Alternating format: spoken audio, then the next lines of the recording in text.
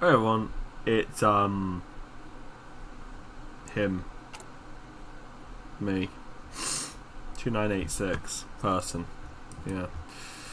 Uh, uh, okay, whatever. Alright, zoom in, yada yada yada. Pause the fucking game. I also hear people um talking about the tanks and whatnot. It's just these are the tanks that I'm using. I want to make the game harder, but honestly, it, it really does not mean anything to me. Alright, I'm going to win this anyway.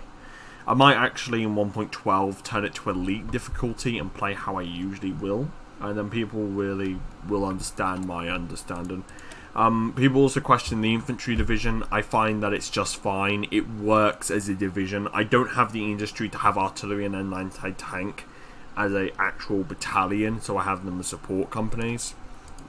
And even if I could, there's no point because playing as Germany, I'm playing on the offensive as much as I am on the defense, and defense for Germany is just perfect. So there's no point.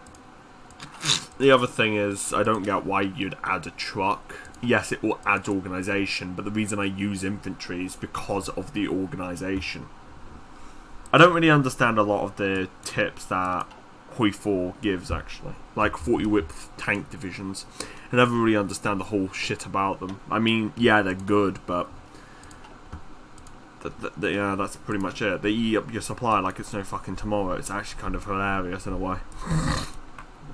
and even if that wasn't the case, well, I mean, I'll tell you one thing. It'll consume my fuel up like a motherfucker. And, I'm over, and I've only got like three days worth at maximum.